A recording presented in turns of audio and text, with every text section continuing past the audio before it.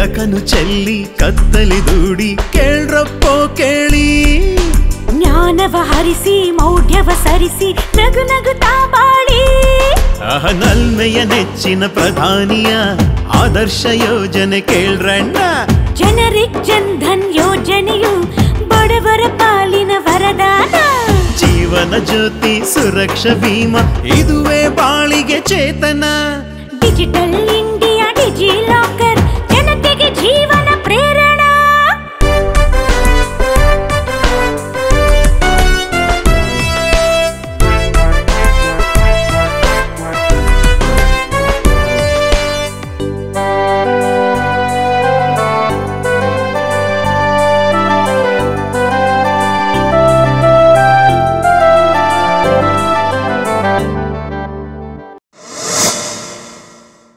commission Kamanna uncle offer Annapoorneshwari aunty policy Parmu ಎಲ್ರು ಬೇಗ ಬನ್ನಿ ಬೇಗ. ಏನು ಎಲ್ರನ್ನು ಒಟ್ಟಿಗೆ ಕರಿತಾ ಇದೆಯಾ ಏನಾದರೂ ಆರ್ಡರ್ ಬಂದಿದ್ಯಾ? ಅಂಕಲ್ ನಿಮ್ಗೆ ಯಾವಾಗ್ಲೂ ದುಡ್ಡಿಂದೇ ಚಿಂತೆ. ಎಲ್ಲಿದ್ದಾರೆ ಎಲ್ಲಿದ್ದಾರೆ? ಯಾವ ಪಾಲಿಸಿ ಬೇಕಂತೆ? ಸರ್ ಎಷ್ಟು ಪ್ರೀಮಿಯಂ ಕಟ್ತೀರಾ? ಪರ್ಮು ನಾನ್ ಕೂಗಿದ್ದು. ನೀನೇ ಕರ್ದಿದ್ದ? ಏ ನೀನ್ ಕರೆದಿದ್ ನೋಡ್ ನಾನು ಯಾರೋ ಪಾಲಿಸಿ ತಗೊಳಕ್ ಕಸ್ಟಮರ್ ಬಂದಿದ್ದಾರೆ ಅನ್ಕೊಂಡೆ. ಯಾರಾದ್ರೂ ಆಫರ್ ಕೇಳ್ಕೊಂಡು ಅನ್ನಪೂರ್ಣೇಶ್ವರಿ ನೋಡೋದಕ್ಕೆ ಯಾರಾದ್ರೂ ಬಂದಿದ್ದಾರೆ ನಿಮ್ಮ? ಎಲ್ಲ ಏನು ಇಲ್ಲ ಆಂಟಿ ಮೊದಲು ಸ್ವೀಟ್ಸ್ ತಗೊಳ್ಳಿ. ಸ್ವೀಟಾ ಯಾಕೆ? ಹೇಳ್ತೀನಿ ನೀವು ತಗೊಳ್ಳಿ.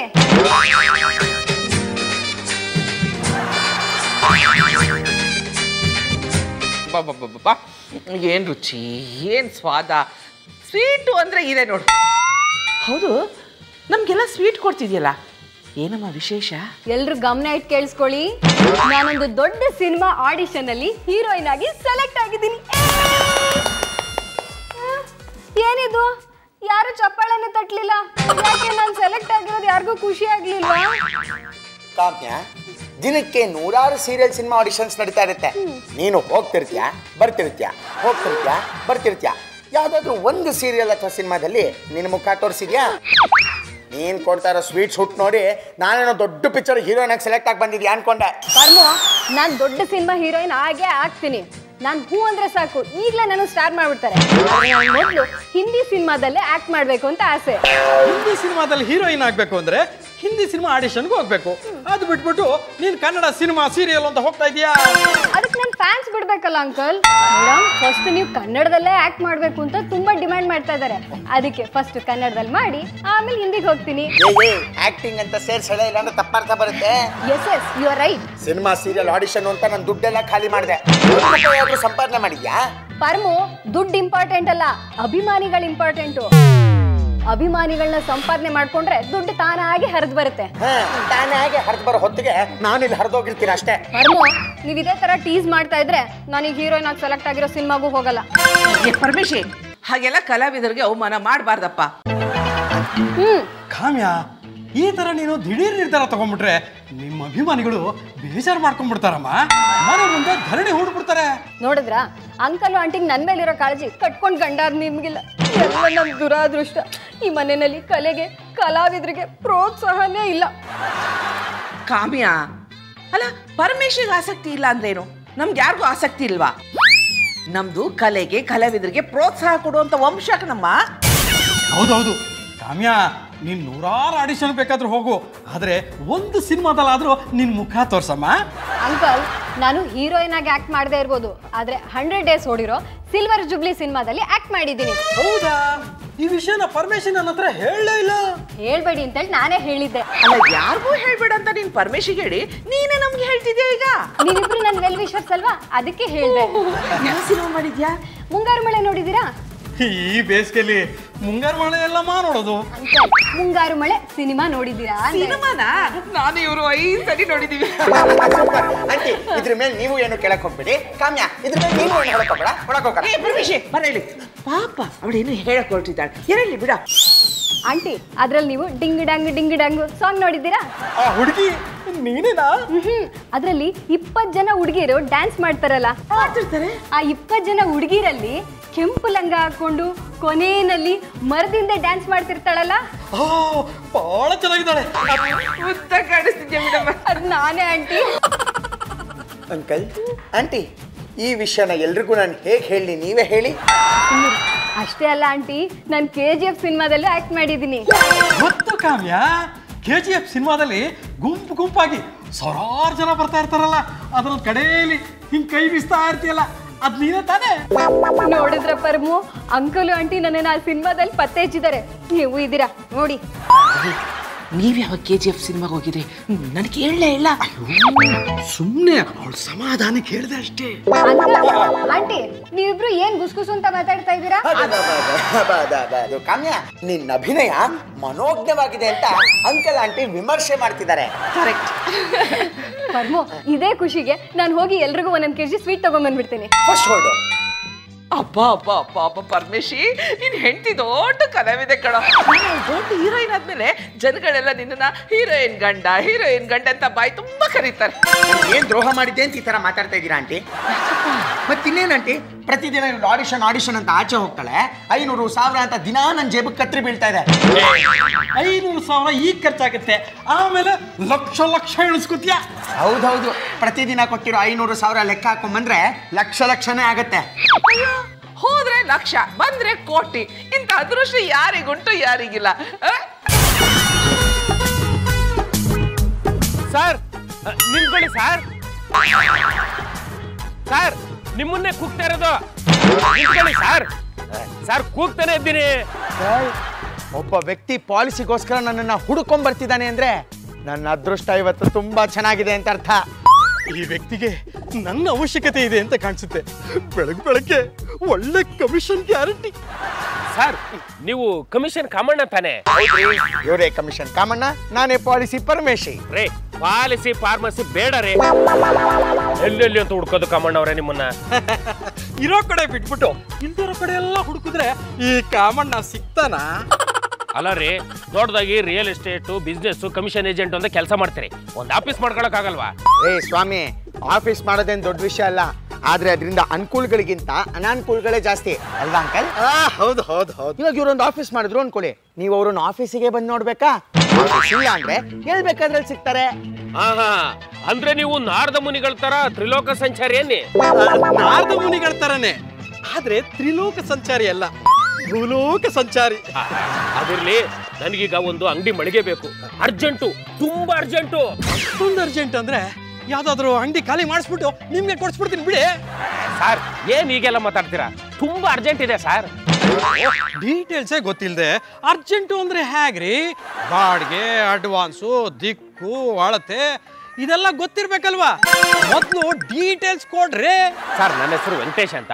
ಏನೇನೋ ವ್ಯವಹಾರ ಮಾಡಕ್ ಹೋಗಿ ಕೈ ಸುಟ್ಕೊಂಡ್ಬಿಟ್ಟಿದ್ದೀನಿ ಕೈ ಸುಟ್ಕೊಂಡ್ಬಿಟ್ಟಿದ್ದೀರಾ? ಹಾಗಾದ್ರೆ ಯಾವ್ದಾದ್ರು ಮುಲಾಮ್ ಹಚ್ಕೊಳ್ಳಿ ಸರ್ ತಮಾಷೆ ಮಾಡಬೇಡಿ ಸುಮ್ಮನಿರಿ ಸರ್. ಸರ್ ಇದೇ ಏರಿಯಾದಲ್ಲಿ ಮೇನ್ ರೋಡಲ್ಲಿ ಒಳ್ಳೆ ವ್ಯಾಪಾರ ಆಗಂತ ಒಂದು ಅಂಗಡಿ ಮಳಿಗೆ ಕೊಡಿಸಿ ಸರ್. ನೀವು ಹೇಳೋ ಪ್ರಕಾರ ಒಂದು ಅಂಗಡಿ ಖಾಲಿ ಇದೆ. ಆದ್ರೆ ಬಾಡಿಗೆ ಜಾಸ್ತಿ ಹೇಳ್ತಾರೆ. ಜಾಸ್ತಿನಾ? ಎಷ್ಟು ಹೇಳ್ತಾರೆ ಸರ್? ಹಾ ಜಾಸ್ತಿ ಅಂದ್ರೆ ಮೂವತ್ತಾರು ಸಾವಿರ ರೂಪಾಯಿ ಹೇಳ್ತಾರಪ್ಪ. ವರ್ಷಕ್ಕೆ ತಾನೆ? ಕೊಡೋಣ ಬಿಡಿ. ಯಾಕೆ ಹೇಳಿ? ನಿಮ್ಗೆ ಬರ್ಕೊಟ್ಬಿಡ್ತಾರೆ. ಮೇನ್ ರೋಡ್ ಬೇರೆ ಬೇಕು ಅಂತೀರಾ? ಮೂವತ್ತಾರು ಸಾವಿರ ರೂಪಾಯಿ ಬಾಡಿಗೆ ಅಂದ್ರೆ ವರ್ಷಕ್ಕ ಅಂತ ಕೇಳ್ತೀರಾ? ಬಾಡಿಗೆ ಸ್ವಲ್ಪ ಜಾಸ್ತಿ ಹೇಳ್ತಾರೆ ಅಂತ ನೀವೇ ತಾನೇ ಹೇಳಿದ್ದು. ಏನೋ ಸ್ವಲ್ಪ ಕಡಿಮೆ ಮಾಡಿಸಿ. ಒಂದ್ ಸಾವಿರ ಕಮಿಷನ್ ಜಾಸ್ತಿ ಕೊಡ್ತೀನಿ. ಬಾಡಿಗೆ ಬೇಕಾದ್ರೆ ಹೆಚ್ಚು ಕಮ್ಮಿ ಮಾತಾಡೋಣ. ಆದ್ರೆ ಅಡ್ವಾನ್ಸ್ ಮಾತ್ರ ನಾಲ್ಕು ಲಕ್ಷ ಕಮ್ಮಿ ಇಲ್ಲ. ಅಯ್ಯೋ ಕಮಣವ್ರೆ ನಾನು ನಿಮ್ಮನ್ನೇ ನಂಬ್ ಬಂದಿದ್ದೀನಿ. ಹೇಗಾದ್ರೂ ಮಾಡಿ ಕಡಿಮೆ ಮಾಡಿಸಿ. ಎಲ್ಲ ಓಕೆ ಆದ್ರೆ ಎಲ್ಲರೂ ಸೇರಿ ಪಾರ್ಟಿ ಮಾಡೋಣ? ಸರಿ ಸರಿ. ನಾಳೆ ಸಾಯಂಕಾಲ ಬನ್ನಿ ಎಲ್ಲ ವಿಚಾರಿಸಿರ್ತೀನಿ. ಹಾ ಆಯ್ತಾಯ್ತು. ಬರ ಸರ್. ಬರ್ತೀನಿ ಸರ್ ಸರ್. ಪಾರ್ಟಿ ಜೊತೆಗೊಂದು ಪಾಲಿಸಿ ಮಾಡಿಸ್ಬಿಟ್ರೆ ನನಗೂ ಅನುಕೂಲ ಆಗತ್ತೆ. ಅಯ್ಯೋ ಮಾಡ್ಸೋಣ ಬಿಡಿ. ಬರ್ಲಾ? ಹಾ, ಆಯ್ತು ಬರ್ತೀನಿ ಕಮಣ್ಣವ್ರೆ ಏ ಬಂದ್ರಿ ಇಲ್ಲಿ. ಆ, ಏನ್ ಸರ್? ಬರೀ ಕೈಲಿ ಹಂಗೆ ಟಾಟಾ ಅಂತ ಮಾಡ್ಬಿಟ್ಟು ಹೋಗ್ಬಿಟ್ರೆ ಆಗೋಯ್ತಾ? ಏ ಖರ್ಚಿಗೆ ಏನಾದ್ರೂ ಕೊಡೋದ್ ಬೇಡವೇನ್ರಿ? ನೋಡ್ರಿ ಎತ್ರಿ. ಮರ್ತಿದೆ ಸರ್. ತಗೊಳ್ಳಿ ಸರ್. ಐನೂರು ರೂಪಾಯ? ಹಾ ಅಡ್ವಾನ್ಸ್ ಹತ್ತಿ ಇಟ್ಕೊಳ್ಳಿ. ಇರ್ಲಿ ಬಿಡಿ. ಆದ್ರೆ ವ್ಯವಹಾರ ಎಲ್ಲ ಮುಗಿದ್ಮೇಲೆ ನಂದೊಂದು ಕಂಡೀಷನ್ ಕಂಡೀಷನ್ ಏನ್ ಸರ್? ಇವರು ನನ್ನ ಫ್ರೆಂಡ್ ಪಾಲಿಸಿ ಪರಮೇಶಿ ಅಂತ. ವ್ಯವಹಾರ ಎಲ್ಲ ಮುಗಿದ್ಮೇಲೆ ಇವ್ರದ್ದೊಂದು ಪಾಲಿಸಿನ ನೀವು ತಗೊಳ್ಳೇಬೇಕು. ಆ, ಅಲ್ಲ ರೀ ಇನ್ನು ಅಂಗಡಿ ನೋಡಿಲ್ಲ ಅಂಗಡಿ ಓಕೆ ಆಗಿಲ್ಲ ವ್ಯವಹಾರ ಅಂತೂ ಕುದ್ರೆ ಇಲ್ಲ. ಆಗಲೇ ನಿಮ್ಮ ಕಂಡೀಷನ್ ಅಯ್ಯೋ ಕಂಡೀಷನ್ ಅಂದ್ರೆ ನಿಮಗೆ ಬೇಜಾರಾಗತ್ತೆ ಅನ್ನೋ ಹಾಗಿದ್ರೆ ರಿಕ್ವೆಸ್ಟ್ ಅನ್ಕೊಳ್ಳಿ. ಆಯ್ತು ಆಯ್ತು.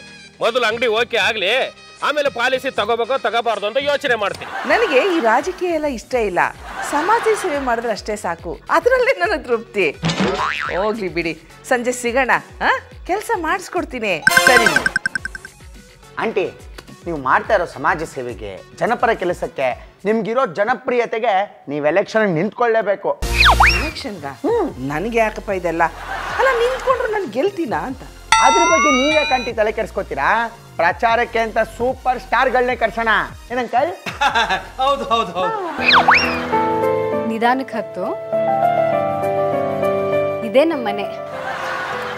ಯಾಕೆ ಯೋಚನೆ ಮಾಡ್ತಾ ನಿಂತೆ? ನಡಿ ಒಳಗೆ. ಹುಷಾರು ನಿಧಾನಕ್ಕೆ ಬಾ. ಬನ್ನಿ ಬನ್ನಿ ಕೂತ್ಕೊಳ್ಳಿ.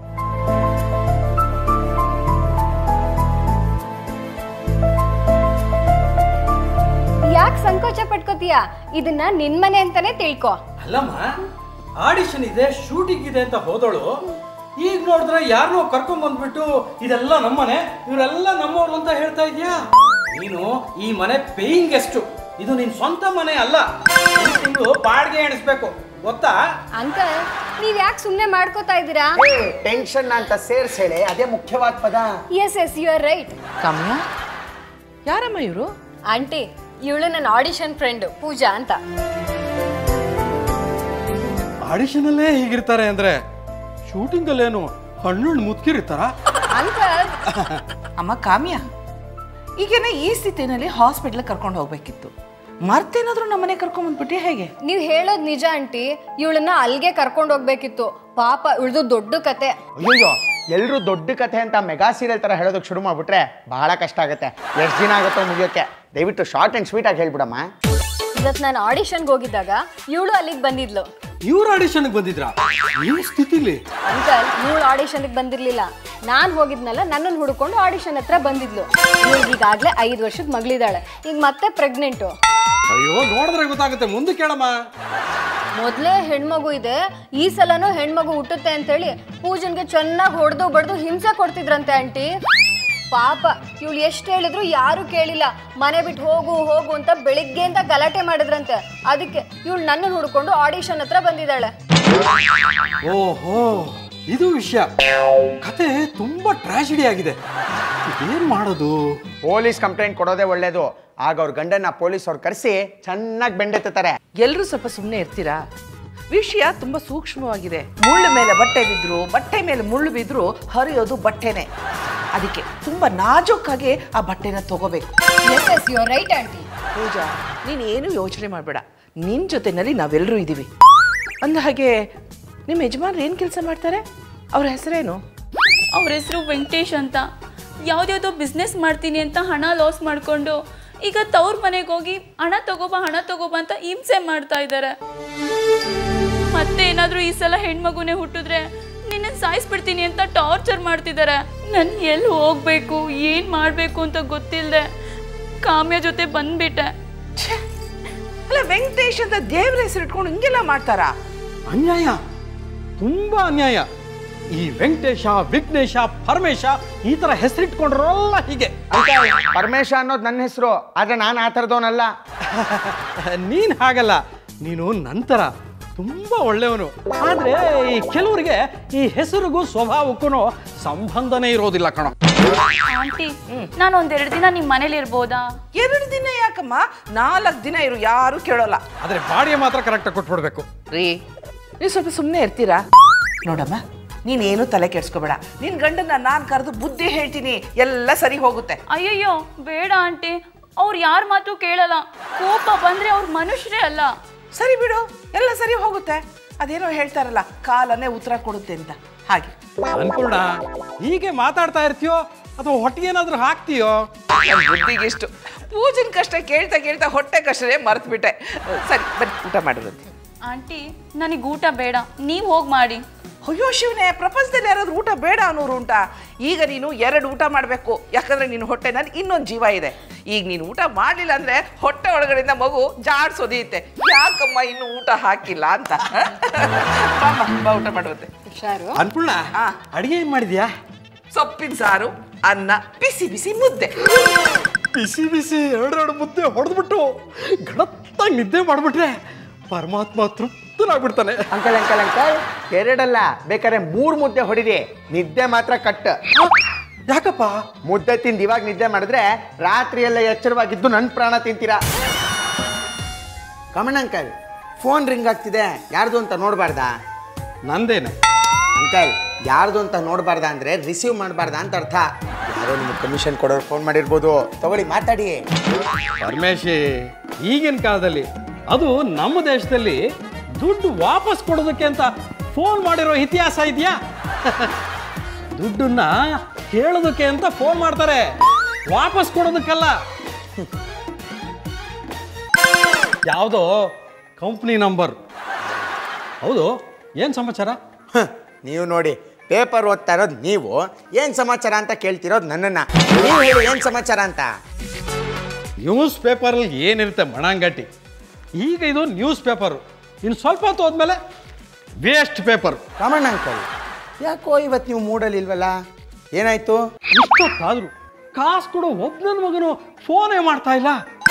ಇವತ್ತೆಲ್ಲ ಹೀಗೆ ಆದ್ರೆ ಬರಿಗೈ ದಾಸಯ್ಯ ಆಗ್ಬಿಡ್ತೀನೇನೋ ಅಂತ ಯೋಚನೆ ಆಗ್ಬಿಟ್ಟಿದೆ ಕಣೋ. ಅಂಕಲ್ ಬರಿಗೈಯಲ್ಲಿ ಮನೆಗೆ ಬಂದಿರೋ ಯಾವ್ದಾದ್ರು ಉದಾಹರಣೆ ಇದೆಯಾ ನಿಮ್ಮದು ಹೇಗೋ ಒಂದು ಗಂಡ ಗುಂಡಿ ಮಾಡಿ ಅಪರ ಸಪರ ಮಾಡಿ ಐನೂರು ಸಾವಿರನೋ ಬಡದ್ ಬಾಯಿಗೆ ಹಾಕೊಂಡೇ ಬರೋರು ನೀವು. ನೆನ್ನೆನೆ ಉದಾಹರಣೆ ತಗೊಳ್ಳಿ. ಆ ವೆಂಕಟೇಶನ್ ಸುಮ್ಮನೆ ಬಿಟ್ರಾ? ಹೋಗ್ತಿದ್ದೋನು ವಾಪಸ್ ಕರೆದು ಐನೂರು ರೂಪಾಯಿ ಅಡ್ವಾನ್ಸ್ ಅಂತ ಕಿತ್ಕೊಳ್ಳಿಲ್ವಾ? ಹಾಗೆ ಇವತ್ತು ಯಾವುದಾದ್ರೂ ಒಂದು ವ್ಯವಹಾರ ಕುದುರಿದ್ರೆ ಹತ್ತೋ ಇಪ್ಪತ್ತು ಸಾವಿರ ಗ್ಯಾರಂಟಿ ಬಿಡಿ. ಅದೇ ನನ್ನ ನೋಡಿ. ಬೆಳಗ್ಗೆಯಿಂದ ಸಂಜೆವರೆಗೂ ಎಷ್ಟು ಗಂಟ್ಲು ಹಳ್ಕೊಂಡ್ರು ಹೆಂಗೆಲ್ಲ ಬಡ್ಕೊಂಡ್ರು, ಒಬ್ಬ ನನ್ನ ಮಗನೂ ಪಾಲಿಸಿ ತಗೊಳಲ್ಲ. ಸಾಕಾಗಿ ಹೋಗಿದೆ ಈ ಜೀವನ. ರಮೇಶ್ ಯಾವುದೋ ಬಂತಪ್ಪ. ಹಲೋ? ಯಾರು? ಹಾ ನಾನೇ ನಾನೇ ಕಮಿಷನ್ ಕಾಮಣ್ಣ. ಹೇಳಿ? ಏನೋ ಡೈವರ್ಸ್ ಕೊಡಿಸ್ಬೇಕಾ? ಏ ನಾನು ಮದುವೆ ಮಾಡಿಸೋ ಕಮಿಷನ್ ಕಾಮಣ್ಣ. ಮದುವೆ ಮುರಿಯೋ ಮನೆ ಹಾಳ ಅಲ್ಲ. ಏನು? ಕಮಿಷನ್ ಕೊಡ್ತೀರಾ? ಏಯ್ ಕಮಿಷನ್ ಇಲ್ಲದೆ ಕೆಲಸ ಮಾಡೋದಕ್ಕೆ ನನಗೇನು ಹುಚ್ಚಿಡ್ದಿದ್ಯಾ ಇಡ್ರಿ ಫೋನು ನೋಡಿ ಇಂಥವೇ ನಮಗೆ ಬರೋದು. ಪರಮೇಶಿ ಇವತ್ತು ಯಾಕೋ ಬೆಳಗ್ಗೆಯಿಂದ ಕಮಿಷನ್ನೇ ಗಿಡ್ತಾ ಇಲ್ಲ ಕಣೋ. ಆ ವೆಂಕಟೇಶನ್ಗೆ ಅಂಗಡಿ ತೋರಿಸಿದ್ರೆ ಕಮಿಷನ್ ಸಿಕ್ಕಿದ್ರು ಸಿಗ್ಬೋದಲ್ವಾ? ನಡ್ರಿ ಅದನ್ನ ಟ್ರೈ ಮಾಡೋಣ ನಡಿ ನಡಿ ಟ್ರೈ ಮಾಡೋಣ ನಡಿ. ಪರಮೇಶಿ. ಲೋ ಪರಮೇಶಿ. ವೆಂಕಟೇಶ ಇಷ್ಟೊತ್ತಿಗೆ ಬರ್ಬೇಕಾಗಿತ್ತಲ್ವಾ? ಬರ್ತಾನೋ ಇಲ್ವೋ ಅಂತ ಡೌಟ್ ಆಗ್ಬಿಟ್ಟಿದೆ ಕಣ ನನಗೆ. ಬಂದ್ರು ಲಾಭ ಬರ್ದೇ ಇದ್ರು ಲಾಭ ಬಿಟ್ಟಾಕಿ? ಬಂದ್ರೆ ಲಾಭ ಬರ್ದೇ ಇದ್ರೆ ಅದು ಹೆಂಗಪ್ಪ ಲಾಭ? ಅವ್ನು ಬಂದ ಅನ್ಕೊಳ್ಳಿ. ಹಾ. ಹತ್ತು ಸಾವಿರನೋ ಇಪ್ಪತ್ತು ಸಾವಿರನೋ ಸಿಗುತ್ತೆ. ಅವಾಗ ಲಾಭ ಆಗುತ್ತೆ. ಅವ್ನು ಬರ್ಲಿಲ್ಲ ಅನ್ಕೊಳ್ಳಿ. ನಿನ್ನೆ ಐನೂರು ರೂಪಾಯಿ ಅಡ್ವಾನ್ಸ್ ಅಂತ ಕೊಟ್ಟು ಹೋಗಿದಾನಲ್ವಾ ಅದು ಲಾಭನೇ ಅಲ್ವಾ? ಈ ಜುಜುಬಿ ಐನೂರು ರೂಪಾಯಿ ಈ ಕಾಲದಲ್ಲಿ ಅದು ಯಾವ ಲೆಕ್ಕನೋ? ಅವ್ನು ಬರೋವರೆಗೂ ಕಾಫಿ ಕುಡ್ಕೊಂಬರೋಣ ಬಾ. ಬನ್ನಿ. ನಡಿ ನಡಿ. ಎರಡು ಕಾಫಿ ಕೊಡಪ್ಪ. ಒಂದು ನಿಮಿಷ ಸರ್ ಕೊಟ್ಟೆ.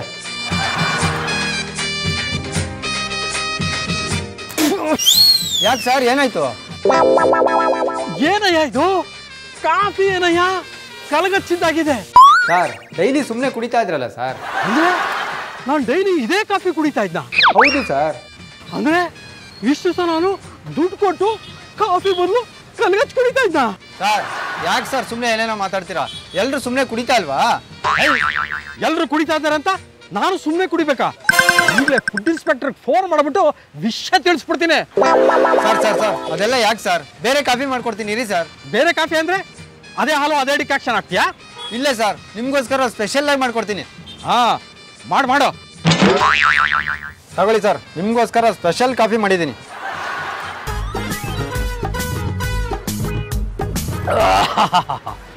ಇದಪ್ಪ ಕಾಫಿ ಅಂದ್ರೆ ಸೂಪರ್ ಕಾಫಿ. ತಗೊಳಪ್ಪ ದುಡ್ಡು. ಬೇಡ ಸರ್ ನೀವೇ ಇಟ್ಕೊಳ್ಳಿ. ಯಾಕಪ್ಪ ದುಡ್ಡು ಬೇಡ ಅಂತ ಇದೆಯಾ ಫುಡ್ ಆಫೀಸರು ಹೆಲ್ತ್ ಆಫೀಸರ್ ಅಂತ ಕಂಪ್ಲೇಂಟ್ ಕೊಡಬೇಡಿ ಸರ್ ಅದೆಲ್ಲ ಏನೂ ಇಲ್ಲ. ನೀನು ದುಡ್ಡು ತಗೊಳಪ್ಪ. ಪರವಾಗಿಲ್ಲ ಸರ್ ನೀವೇ ಇಟ್ಕೊಳ್ಳಿ ಸರ್ ನಿನ್ನ ಮೇಲೆ ನಿಮಗೆ ಡೈಲಿ ಸ್ಪೆಷಲ್ ಫಿಲ್ಟರ್ ಕಾಫಿನೇ ಮಾಡ್ಕೊಡ್ತೀನಿ. ಆಯ್ತು ಆಯ್ತು. ನಾವೇನು ಬರ್ತೀವಿ. ಆ? ಸರಿ ಸರ್ ಬರೋಣ? ಹಾಂ ಸರಿ ಅಲ್ಲ ಅಂಕಲ್ ಆ ಹೋಟ್ಲಲ್ಲಿ ಕಾಫಿ ಚೆನ್ನಾಗೇ ಇತ್ತಲ್ವಾ? ಮತ್ತೆ ಯಾಕೆ ಚೆನ್ನಾಗಿರ್ಲಿಲ್ಲ ಅಂತ ಅಷ್ಟೊಂದು ಡೌ ಮಾಡಿದ್ರಿ? ರಮೇಶಿ ವೆಂಕಟೇಶ್ ಬರೋವರೆಗೂ ವೆಯ್ಟ್ ಮಾಡಬೇಕಾಗಿತ್ತು. ಕೆಲಸನೂ ಏನು ಇರಲಿಲ್ಲ. ಅದಕ್ಕೆ ಒಂದು ಇನ್ಸಿಡೆಂಟ್ ಕ್ರಿಯೇಟ್ ಮಾಡಿದೆ. ಅಷ್ಟೇ. ಕೆಲಸ ಇಲ್ಲ ಅಂದ್ರೆ ಈ ತರ ಎಲ್ಲ ಮಾಡ್ತೀರಾ ನೀವು? ಮೊದಲು ವೆಂಕಟೇಶ್ ಫೋನ್ ಹಾಕಿ ಎಷ್ಟೊತ್ತಿಗೆ ಬರ್ತಾನೆ ಅಂತ ವಿಚಾರಿಸಿ. ಸರಿ ಇನ್ಸಿಡೆಂಟ್ ಮಾಡ್ತಾರೆ ಅಂತ incident number you are trying to reach is currently switch off Please try again later. Parameshi switch off ಮಾಡ್ಕೊಂಡ್ಬಿಟ್ಟಿದ್ದಾನಲ್ಲ. ಏನು ಮಾಡೋದು ಇವಾಗ. ಇನ್ನೇನು ಮಾಡುವುದು? ಬಂದ ದಾರಿಗೆ ಸುಂಕವಿಲ್ಲ ಎಂದು ಮನೆಯ ಕಡೆಗೆ ಹೆಜ್ಜೆ ಹಾಕುವುದು. ನಾನು ಹೇಳ್ದಾಗೆ ಇವತ್ತು ಬರಿಗೈ ದಾಸ ಆಗ್ಬಿಟ್ನಲ್ಲ ನಾನು. ಹೆಂಗಂತ ಬರಿಗೈ ದಾಸ ಆದ್ರೆ ನಾನು ಹೇಳಿರ್ಲಿಲ್ವಾ? ಏನೋ ಒಂದ್ ಗಂಡ ಗುಂಡಿ ಮಾಡಿ ನೀವು ಗಿಟ್ಟಿಸ್ಕೊತೀರಾ ಅಂತ. ಎಲ್ಲಿ ಗಿಡ್ತಿ ಇವತ್ತು? ಆ? ಹೋಟ್ಲಲ್ ಸ್ಪೆಷಲ್ ಫಿಲ್ಟರ್ ಕಾಫಿ ಬಿಟ್ಟಿಯಾಗಿ ಕುಡಿಲಿಲ್ವಾ? ಪೂಜಾ? ಪೂಜಾ? ಪೂಜಾ? ಏ ಪೂಜಾ? ಏ ಪೂಜಾ? ಹಲೋ? ಯಾರಪ್ಪ ನೀನು? ಏನ್ ಬೇಕಾಗಿತ್ತು? ಯಾರಾದ್ರೇನ್ರಿ ಮೊದಲು ಪೂಜನ್ ಕರೀರಿ. ನೀನಣ್ಣ ವೆಂಕಟೇಶ? ಪೂಜನ್ ಗಂಡ? ಸಂಜೆ ನಾಲ್ಕು ಗಂಟೆಗೆ ಬರ್ತೀನಿ ಅಂತ ಹೇಳಿ ಯಾವಾಗ ಫೋನ್ ಸ್ವಿಚ್ ಆಫ್ ಮಾಡ್ಕೊಂಡ್ರೋ ಆವಾಗಲೇ ನನಗೆ ಗೊತ್ತಾಯ್ತು. ಆ ವೆಂಕಟೇಶ ಈ ವೆಂಕಟೇಶ ಅಂತ. ನಿಮ್ಮ ಹರಿಕತೆ ಕೇಳಕ್ ಬಂದಿಲ್ಲ. ಎಲ್ಲಿ ಪೂಜಾ? ಪೂಜಾ? ನಾನ್ ಬರಲ್ಲ ರೀ. ನನ್ನ ಹೆಸರು ಕರಿಬೇಡಿ ನೀವು. ಓಹೋ ಇವ್ರೆಲ್ರು ಸಪೋರ್ಟ್ ಇದೆ ಅಂತ ತುಂಬಾ ಧೈರ್ಯ ಬಂದಿದ್ಯಾ? ಮರ್ಯಾದಿಂದ ನಡೆಯ ಮನೆಗೆ. ಯಾಕ್ರಿ ಮನೆಗೆ ಬರ್ಬೇಕು? ನಿಮ್ ಕೈಲಿ ಓಡಿಸ್ಕೊಂಡು ಚಿತ್ರ ಹಿಂಸೆ ಅನ್ಭವ್ಸಕ್ಕ? ನಾನ್ ಬರಲ್ಲ. ಬರಲ್ಲ ಅಂದ್ರೆ ಬಿಡೋರು ಯಾರು? ನೋಡಿ ಗಂಡು ಮಗು ಎತ್ಕೊಡು ಗಂಡು ಮಗು ಎತ್ಕೊಡು ಅಂದ್ರೆ ಬರೀ ಹೆಣ್ಮಗುನ ಎತ್ಕೊಡ್ತೀಯ? ಆ ಹೆಣ್ಮಗುನ ಓದಿಸಿ ಸಲುವಿ ಮದುವೆ ಮಾಡಿ ಕಳ್ಸೋರು ಯಾರು? ನೋಡೋ ನನಗೆ ಗಂಡು ಮಗು ಬೇಕೇ ಬೇಕು. ಹೆಣ್ಮಗು ಎತ್ಕೊಡೋದಾದ್ರೆ ಈ ಮಗುನೇ ಬೇಡ. ಏನಪ್ಪ ನೀನು? ಹೆಣ್ಮಗಳು ಅಂತ ಅಷ್ಟೊಂದು ಕೀಳಾಗಿ ಮಾತಾಡ್ತಿದ್ಯಾ? ಹೆಣ್ಣು ನಿನ್ಗೆ ತಾಯಿ ಆಗ್ಬೇಕು. ಹೆಣ್ಣು ನಿನ್ಗೆ ಹೆಂಡತಿ ಆಗ್ಬೇಕು. ಮಗಳಾಗಿ ಯಾಕೆ ಬೇಡ? ಮಗಳು ಮಗ ಇಬ್ರು ಸರಿ ಸಮಾನರು. ಅದನ್ನ ತಿಳ್ಕೊ. ರೇ ನನಗೆ ನಿಮ್ಮ ಮರಿಕತೆ ಬೇಡ. ಒಂದು ಹೆಣ್ಮಗುನ ಮದುವೆ ಮಾಡಿ ಕಳ್ಸೋದು ಎಷ್ಟು ಕಷ್ಟ ಅಂತ ನಿಮ್ಗೇನ್ರಿ ಗೊತ್ತು? ವೆಂಕಟೇಶ ನೀನ್ ತಿಳ್ಕೊಂಡಿರೋದು ತಪ್ಪು ತಿಳ್ಬಳಕೆ ಹೆಣ್ಣಾಗ್ಲಿ ಗಂಡಾಗ್ಲಿ ತಪ್ಪದೆ ಓದಿಸ್ಬೇಕು. ಹೆಣ್ಣು ಮಕ್ಕಳಿಗೆ ಜಾಸ್ತಿ ಖರ್ಚಾಗತ್ತೆ ಗಂಡು ಮಕ್ಕಳಿಗೆ ಕಡಿಮೆ ಖರ್ಚಾಗತ್ತೆ ಅಂತ ನಿನ್ಗೆ ಯಾರು ಹೇಳಿದವರು? ನಮ್ಮ ಕೇಂದ್ರ ಸರ್ಕಾರ ಬೇಟಿ ಬಚಾವೋ ಬೇಟಿ ಪಡಾವೋ ಎನ್ನುವ ಯೋಜನೆನ ಜಾರಿಗೆ ತಂದಿದೆ. ಹೆಣ್ಮಕ್ಳ ಸಂಖ್ಯೆನ ಜಾಸ್ತಿ ಮಾಡೋದು, ಮಹಿಳೆಯರನ್ನ ಸಬಲೀಕರಣಗೊಳಿಸೋದು ಈ ಯೋಜನೆಯ ಮುಖ್ಯ ಉದ್ದೇಶ. ನೋಡಪ್ಪ, ಸರ್ಕಾರ ಭಾಗ್ಯಲಕ್ಷ್ಮಿ ಯೋಜನೆಯಡಿ ಮೊದಲನೇ ಹೆಣ್ಮಗಳ ಹೆಸರಿನಲ್ಲಿ ಹತ್ತೊಂಬತ್ತು ಸಾವಿರದ ಮುನ್ನೂರು, ಎರಡನೇ ಎರಡು ಮಗಳ ಹೆಸರಿನಲ್ಲಿ ಹದಿನೆಂಟು ಸಾವಿರದ ಮುನ್ನೂರೈವತ್ತು ರೂಪಾಯಿಗಳನ್ನ ಹಣಕಾಸು ಸಂಸ್ಥೆನಲ್ಲಿ ಠೇವಣಿಯಾಗಿಡ್ತಾರೆ. ಹೆಣ್ಣು ಮಕ್ಕಳಿಗೆ ಹದಿನೆಂಟು ವರ್ಷ ತುಂಬಿದಾಗ ಕ್ರಮವಾಗಿ ಒಂದು ಲಕ್ಷದ ತೊಂಬತ್ತೇಳು ರೂಪಾಯಿ ಹಾಗೂ ಒಂದು ಲಕ್ಷದ ಐವತ್ತೆರಡು ರೂಪಾಯಿ ಅವರ ಹೆಸರು ಸೇರುತ್ತೆ. ಇಷ್ಟೇ ಅಲ್ಲ ವೆಂಕಟೇಶ, ಹೆಣ್ಣು ಮಕ್ಕಳಿಗೆ ವಿದ್ಯಾಭ್ಯಾಸ ವಿದ್ಯಾರ್ಥಿ ವೇತನ ಹಾಗೂ ಅಪ್ರತಿಮ ಶೌರ್ಯ ಪ್ರಶಸ್ತಿಯನ್ನು ನೀಡ್ತಾರೆ. ಈ ಪ್ರಶಸ್ತಿಗೆ ಆಯ್ಕೆಯಾದ ಮಕ್ಕಳಿಗೆ ಪಿ ಯು ಸಿವರೆಗೂ ಪ್ರತಿ ವರ್ಷ ಎರಡು ಸಾವಿರ ರೂಪಾಯಿ ಸ್ಕಾಲರ್ಶಿಪ್ ಕೊಡುತ್ತೆ. ಅಷ್ಟೇ ಅಲ್ಲ. ಶಿಕ್ಷಣ, ಸಂಗೀತ, ಕ್ರೀಡೆ, ಸಮಾಜ ಸೇವೆ, ಇದರಲ್ಲಿ ತೊಡಗಿಸ್ಕೊಂಡಂಥ ಮಕ್ಕಳಿಗೆ ಹತ್ತು ಸಾವಿರ ರೂಪಾಯಿ ನಗದು ಬಹುಮಾನ ಕೊಡಿ ಅಂತ ಜಿಲ್ಲಾ ಪಂಚಾಯಿತಿಗೆ ಸೂಚಿಸ್ತಾರೆ. ಹೀಗೆ ಹತ್ತು ಹಲವು ಯೋಜನೆಗಳನ್ನ ಹೆಣ್ಮಕ್ಕಳಿಗೆ ಮತ್ತು ಮಹಿಳೆಯರಿಗೆ ಕೇಂದ್ರ ಸರ್ಕಾರ ಹಮ್ಮಿಕೊಂಡಿದೆ. ಇಷ್ಟೆಲ್ಲ ನೆರವುಗಳನ್ನ ಕೇಂದ್ರ ಸರ್ಕಾರ ನೀಡ್ತಿರ್ಬೇಕಾದ್ರೆ ಹೆಣ್ಮಕ್ಳು ಯಾಕೆ ಬೇಡ? ಅಲ್ಲಪ್ಪ ವೆಂಕಟೇಶ, ಹೆಣ್ಣಾಗ್ಲಿ ಗಂಡಾಗ್ಲಿ, ಅವರು ನಮ್ಮ ಮಕ್ಕಳು ತಾನೆ, ಅಷ್ಟಕ್ಕೂ ನಮ್ಮ ಹೆಣ್ಣು ಮಕ್ಕಳು ಯಾವುದ್ರಲ್ಲಿ ಹಿಂದುಳಿದಿದ್ದಾರೆ ಹೇಳು? ಗಂಡು ಮಕ್ಕಳಷ್ಟೇ ಸರಿಸಮನಾಗಿ ದುಡಿತಾ ಇಲ್ವಾ? ಏ ವೆಂಕಟೇಶ್ ಅವರೇ ಹೆಣ್ಣೊಂದು ಕಲಿತರೆ ಶಾಲೆಯೊಂದನ್ನೇ ತೆರೆದಂತೆ ಅನ್ನೋ ಮಾತನ್ನ ಕೇಳಿಲ್ವೇನ್ರಿ ನೀವು? ಹೆಣ್ಮಕ್ಳು ಅಂದ್ರೆ ನಾಲಾಯಕು ಅಪ್ರಯೋಜಕರು ಅವರಿಂದ ತುಂಬಾ ಹಣ ಖರ್ಚಾಗತ್ತೆ ಅಂತ ತಪ್ಪು ತಿಳ್ಕೊಂಡಿದ್ದೆ. ಆದ್ರೆ ನಿಮ್ಮಿಂದ ಹೆಣ್ಮಕ್ಳ ಬಗ್ಗೆ ತುಂಬಾ ತಿಳ್ಕೊಂಡೆ. ಇಷ್ಟು ದಿವಸ ಪೂಜಾ ಗಂಡು ಮಗುನೇ ಹೇರ್ಲಿ ಅಂತ ಹಠ ಹಿಡಿದಿದ್ದೆ. ನಿಮ್ಮಿಂದ ವಿಷಯ ತಿಳ್ಕೊಂಡ ಮೇಲೆ ನನ್ನ ಹೆಂಡತಿ ಹೆಣ್ಮಗುನೇ ಇರಲಿ ಅಂತ ಆಸೆ ಪಡ್ತೀನಿ ವೆರಿ ಗುಡ್ ವೆಂಕಟೇಶ.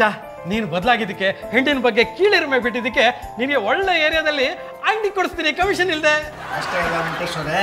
ಹುಟ್ಟೋ ಮಗು ಹೆಸರಿನಲ್ಲಿ ನಾನೇ ಒಂದು ಪಾಲಿಸಿನ ಗಿಫ್ಟ್ ಆಗಿ ಕೊಡ್ತೀನಿ ಥ್ಯಾಂಕ್ ಯು ಸರ್ ಆದ್ರೆ ಪ್ರೀಮಿಯಂ ನೀವೇ ಕಟ್ಕೋಬೇಕು.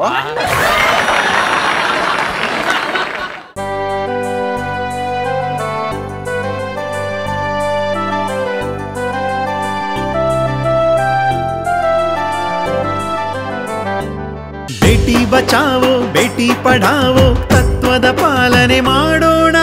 ಕೈಯನ್ನು ಚಾಚಿ ಕೆಲಸವ ಕೇಳದೆ ಮುದ್ರಾ ಯೋಜನೆ ತೆರೆಯೋಣ. ಬೇಟಿ ಬಚಾವೋ ಬೇಟಿ ಪಢಾವೋ ತತ್ವದ ಪಾಲನೆ ಮಾಡೋಣ. ಕೈಯನ್ನು ಚಾಚಿ ಕೆಲಸವ ಕೇಳದೆ ಮುದ್ರಾ ಯೋಜನೆ ತೆರೆಯೋಣ. ಕೇಳ್ರಪ್ಪೋ ಕೇಳಿ.